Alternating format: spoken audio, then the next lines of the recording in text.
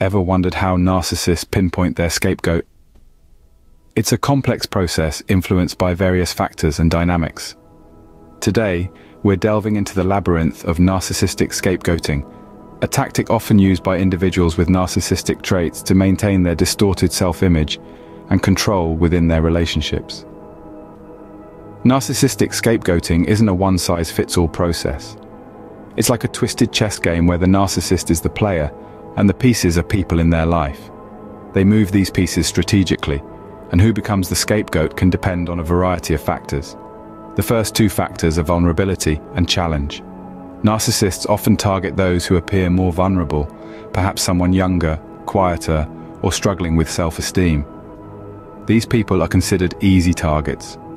On the flip side, narcissists may also choose individuals who challenge their authority or disagree with their viewpoints. These challenges threaten the narcissist's inflated self-importance, making them prime scapegoat candidates. The next element in this twisted game is emotional supply. Narcissists thrive on emotional reactions.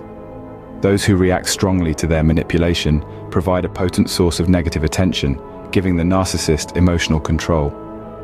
Additionally, individuals who possess high levels of empathy and compassion may also find themselves in the scapegoat role, as their guilt is easily manipulated. Family dynamics also play a significant role. Narcissists can exploit existing sibling rivalry or family conflict to designate a scapegoat. Moreover, pre-existing family roles like the troublemaker or black sheep might unconsciously predispose an individual to become the scapegoat. Finally, we come to the narcissist's own defense mechanisms, projection and externalizing blame. Narcissists often project their negative qualities onto the scapegoat, shifting attention away from their own flaws. By blaming the scapegoat, they dodge responsibility for their actions and maintain control of the narrative. The selection of a scapegoat is a calculated decision made by the narcissist to maintain control and deflect attention from their own flaws. It's important to remember, being the scapegoat isn't a reflection of your worth or personality, but rather it's a result of the narcissist's manipulative and dysfunctional behavior. Narcissists often target those perceived as vulnerable or those who pose a challenge to their authority. This is the paradox of how narcissists choose their scapegoats. Let's delve deeper into this. On one hand, narcissists hunt for easy targets. Individuals who might be younger, quieter, or have lower self-esteem. They are seen as less likely to fight back, making them appealing options for the narcissist's manipulation. On the flip side, narcissists are also drawn to challengers. Individuals who dare to dispute their authority or contradict their views. Why? Because these people pose a threat to the narcissist's inflated sense of self-importance. This challenge, this threat, presents an irresistible opportunity for the narcissist to assert their dominance and re-establish their perceived superiority. In essence, it's a lose-lose situation. Whether it's vulnerability or challenge, the narcissist is always looking for a way to assert their dominance. Narcissists draw from those who provide them with an emotional supply. The emotional landscape of an individual can be a veritable feast for a narcissist. Emotionally reactive individuals, those who respond intensely to the narcissist's manipulative tactics, provide a rich source of negative attention. This emotional reactivity, whether it's anger, sadness, or frustration feeds the narcissist's need for control and dominance. But it's not just emotional reactivity that draws a narcissist. Those with a deep well of empathy and compassion can also become targets. The narcissist manipulates these individuals, exploiting their kindness and understanding, often provoking feelings of guilt and responsibility. This allows the narcissist to shift blame and maintain control, all while drawing out a steady stream of emotional response and attention. In essence, the narcissist exploits the emotions of others for their own gain.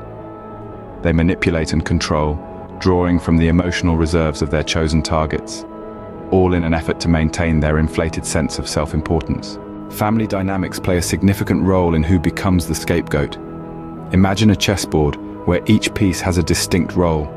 In the family, these roles might be the golden child, the troublemaker, or the black sheep.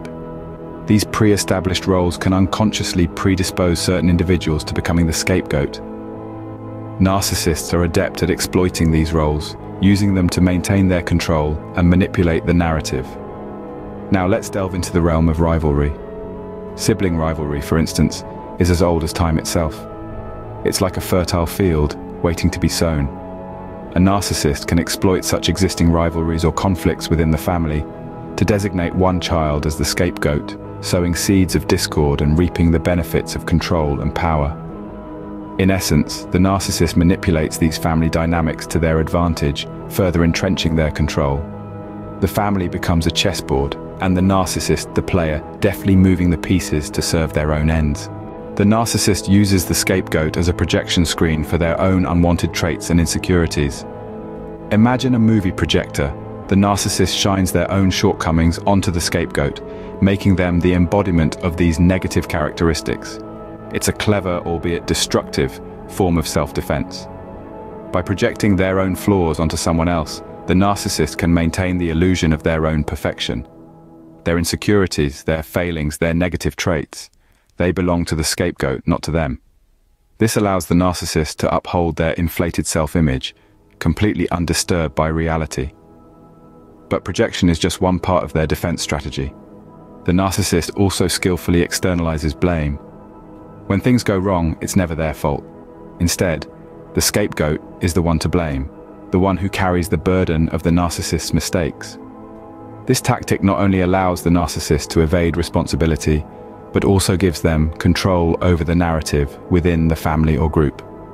Through projection and externalizing blame, the narcissist maintains their self-image and control over the narrative. Remember, being a scapegoat is not a reflection of your worth or personality, it's a twisted outcome of the narcissist's dysfunctional behavior, not a statement about you. You are not at fault here. The first step to breaking free from the scapegoat role is self-awareness. Recognize the patterns, understand the dynamics, and see the role for what it is, a manipulation tactic, not a truth about you. Next, set clear boundaries. Decide what you will and won't tolerate and stick to it. This may be difficult, especially if the narcissist is a family member or someone close to you. However, it's crucial to protect your mental and emotional health. Finally, seek professional help.